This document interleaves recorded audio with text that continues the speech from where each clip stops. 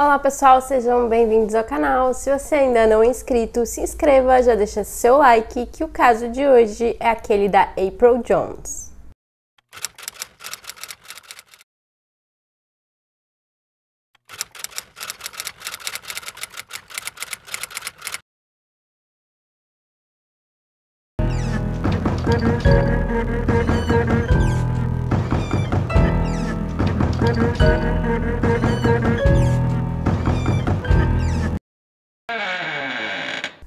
April Jones nasceu prematuramente no dia 4 de abril de 2007, em uma cidade mercantil com um pouco mais de 2.200 habitantes, que fica localizada no país de Gales. Seus pais são Paul e Cora Jones. E ela também tinha dois irmãos. E devido a esse nascimento prematuro, a April ela teve alguns problemas de saúde. Ela foi diagnosticada com uma paralisia cerebral parcial e por conta disso ela tinha que tomar alguns medicamentos.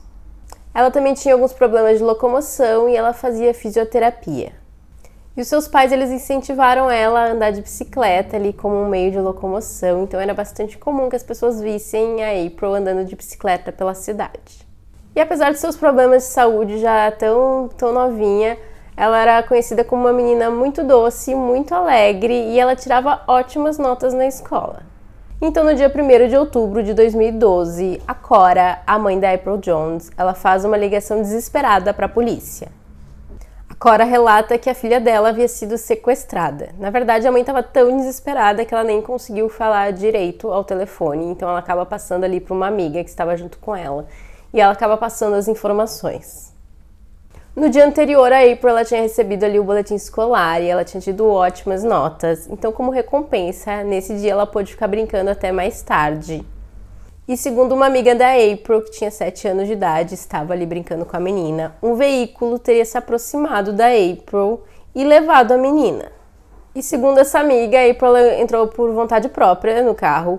Ela entrou sorrindo e o homem que dirigia o carro, ele tinha cabelos castanhos, olhos azuis ou verdes e vestiu uma jaqueta verde. E a menina também fez ali um comentário que acabou sendo fundamental para essa investigação, que ela disse que a April ela entrou do lado errado do carro. Então a polícia ela acabou entendendo isso como um carro que tinha o volante do lado da esquerda, já que lá é mais comum que os carros tenham o volante do lado direito. Então assim que a polícia recebeu essa informação do desaparecimento da menina, eles começam a interrogar as pessoas e começam a distribuir fotos da April. E toda a população ela se mobilizou para encontrar a menina, então eles começaram a fazer buscas ali pela April e eles saíram todos à procura dela. E tanto a polícia quanto ali os voluntários, eles se deparavam com alguns locais bastante difíceis de fazer a busca, como algumas cachoeiras, desfiladeiros, é, havia muitas montanhas. E na época também estava chovendo, o que dificultava ainda mais essas buscas. E no dia seguinte, a polícia ela resolve acionar ali o alerta de criança desaparecida para que todo o Reino Unido tivesse essa informação de que uma menina de 5 anos estava desaparecida. Também foi divulgada as características do veículo visto pela testemunha, que era uma Land Rover cor azul. Após 14 horas sem nenhum sinal da April, a polícia ela começou a fazer diversos bloqueios nas estradas para tentar ali conseguir alguma informação que levasse ao paradeiro da menina. E como eu falei, não era muito comum ali que os carros tivessem o volante do lado esquerdo. Então, com essa informação, acabou chegando a um principal suspeito que se chamava Mark Bridge. O Mark ele nasceu em novembro de 1965 na região de Londres e ele era filho do meio e o seu pai havia trabalhado na polícia. O Mark ele tentou se formar em engenharia, mas ele não concluiu os estudos. Ele também chegou a trabalhar como bombeiro por um breve período nos anos 80. Ele tinha aproximadamente 1,80 de altura e era um homem forte. Também era descrito como sendo carismático e sociável.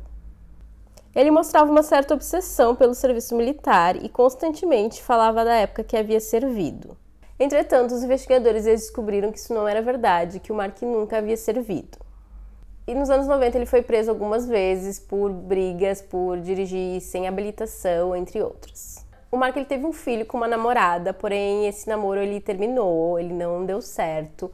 E depois disso, Mark teria mudado para o país de Gales, e lá ele teve diversos empregos e outros relacionamentos que também não deram certo. E pouco antes do desaparecimento da April, ele tinha passado por mais um término de relacionamento. E com a ajuda de um helicóptero, a polícia ela conseguiu localizar o Mark bem rapidamente. Ele estava ali passeando com seu cachorro.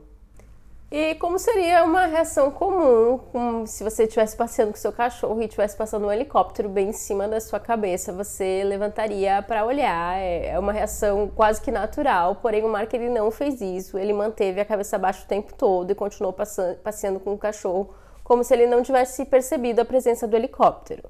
A polícia mandou um carro até o local e o Mark foi detido. E assim que ele foi detido, ele falou que já sabia do que se tratava. E quando ele foi detido, ele tinha acabado de tirar sua barba e cortar o cabelo. E apesar dos policiais é, informarem o Mark que ele tinha o direito de permanecer calado, o Mark ele disse que ele precisava falar. E segundo os policiais que efetuaram a prisão do Mark, ele estava bastante agitado e bastante emotivo. Ele contou para a polícia que ele teria acidentalmente atingido a April com seu carro e que ele tentou socorrer a menina, mas que a menina teve uma parada cardíaca. Ele então teria ficado desesperado e ele teria colocado o corpo ferido da menina dentro do seu carro, mas ele disse que não lembra o que ele fez depois. O Mark ele costumava beber muito, então ele disse que ele estava embriagado e que ele teve um apagão, por isso ele não recordava o que tinha acontecido. E a polícia ela não acreditou nessa versão e o Mark ele também ele contou isso sem saber que havia uma testemunha que a amiguinha da April tinha visto o momento em que a April entrou no carro. E com a prisão do Mark, eles puderam fazer uma revista ali na casa dele e logo que eles entraram na casa, eles sentiram um cheiro forte de produtos de limpeza. Eles também perceberam que estava muito quente ali no local, o que significava que provavelmente a lareira tinha sido usada recentemente porém eles não encontraram nenhum sinal da April. E apesar do Mark ter dito que a April tinha perdido a vida, a força-tarefa que estava ali fazendo as buscas pela menina, eles permaneceram fazendo a busca na esperança de encontrar a menina ainda com vida. E assim que a foto do Mark foi divulgada, a irmã da April ela acabou reconhecendo ele. A menina disse que o Mark ele tinha enviado uma solicitação de amizade numa rede social para ela alguns meses antes, e inclusive quando isso aconteceu, ela teria conversado com seu pai. E na época o pai reconheceu o Mark, eles tinham, eles conheciam ali da época da adolescência, mas já tinha muitos anos. E então ele achou muito estranho porque que ele estava ali adicionando a filha dele. Então ele falou para a menina para rejeitar a solicitação. No carro do Mark não tinha nenhum indício de que tinha ocorrido algum acidente e nem de que havia ali qualquer vestígio de sangue, que seria normal se a menina ferida tivesse entrado no carro dele. Então isso fez com que a polícia ela descartasse de uma vez por todas essa versão do Mark. Já pela casa, a polícia fez uma busca ali um pouco mais minuciosa e eles encontraram traços de sangue da April pela casa e também fragmentos de ossos que pertenciam à menina dentro da lareira. E a polícia ela não acredita que ele tenha queimado todo o corpo da menina, mas sim que ele tenha se desfeito ali de alguns restos mortais na lareira.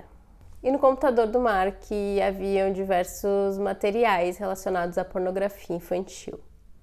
No dia 6 de outubro, cinco dias após o desaparecimento da April, o Mark ele foi acusado de sequestro, por ter tirado a vida da menina e obstrução de justiça com ocultação do corpo de April, impossibilitando que uma autópsia fosse realizada e de que o corpo fosse devolvido à família. E ele assumiu a sua culpa, ele disse que de fato ele tinha tirado a vida da April, mas que tinha sido acidental. E em maio de 2013, o Mark ele foi considerado culpado de todas as acusações. E ele acabou sendo condenado à prisão perpétua. E o Mark ele teria confessado para um padre que ele jogou o corpo da menina em um rio da região. Mas os investigadores eles acreditam que ele dividiu o corpo dela em partes e foi descartando ali em diversos locais da região. O corpo da April nunca foi encontrado, mas aqueles fragmentos de ossos que foram encontrados ali na lareira, eles foram entregues aos pais, então eles fizeram um enterro, uma despedida para April. E a casa que o Mark residia é, era alugada e ela foi comprada pelo governo e acabou sendo demolida para que não houvesse mais ali a lembrança do possível local onde a April teria perdido a vida.